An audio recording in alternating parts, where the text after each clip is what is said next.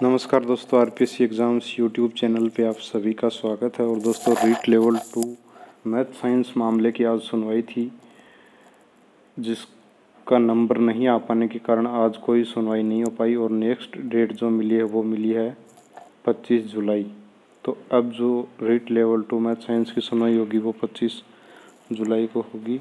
उससे पहले की कोई भी डेट नहीं मिली है। वैसे उससे पहले की भी डेट ली जा सकती थी, लेकिन चूँकि जो डीबी है डबल बेंच है उसमें पहले मैन केस सुने जाते हैं।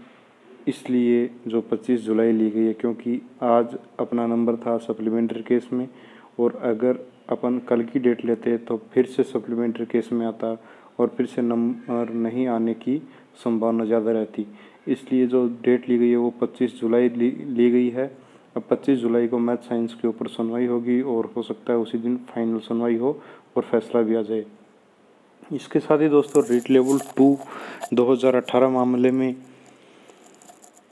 जो कोर्ट ने अपना जो फैसला वो रिज़र्व रखा, उससे संबंधित किसी भी प्रकार की अभी न्यूज़ आ नहीं पाई है दोस्तों। कोई भी ताज़ा अपडेट उसका नहीं मिल पाया है कि कब तक रिज़ल्ट आएगा। वैसे बोला जा रहा है कि इस वीक में रिज़ल्ट आ जाएगा और आज मंगलवार दोस्तों हो गया है।